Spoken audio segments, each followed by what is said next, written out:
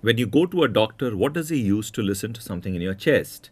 The doctor listens to the heart sounds and lung sounds using the instrument known as a stethoscope.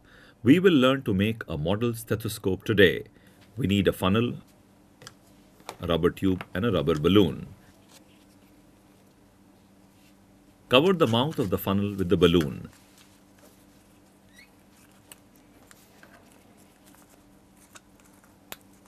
Secure it with a rubber band and make sure it is tight.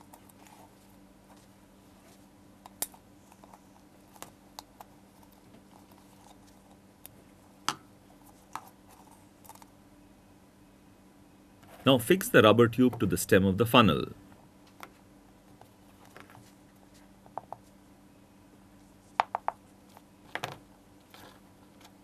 Now keep the mouth of the funnel on your friend's chest and the end of the tube in your ears.